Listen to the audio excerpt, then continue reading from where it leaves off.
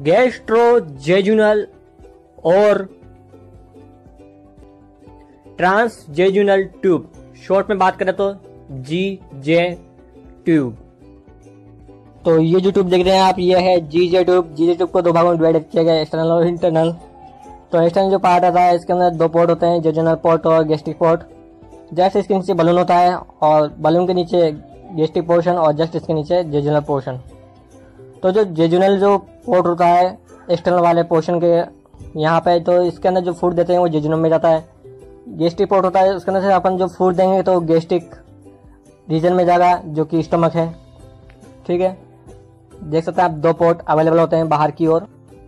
इन दो पोर्ट से आप जो फ़ूड देना चाहते हैं वो आप दे सकते हैं। गेस्टिक पोर्ट से आप स्टमक वाला फ़ूड दे सकते हैं और जेजुनल पोर्ट से आप जेजुनम वाला फ़ूड दे सकते हैं।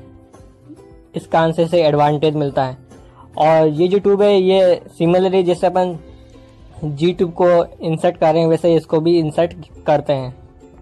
ठीक है? लॉन्ग टाइम के लिए इसे इंसर्ट कर सकते हैं। दोनों फ़ूड अपन इसे दे सकते हैं।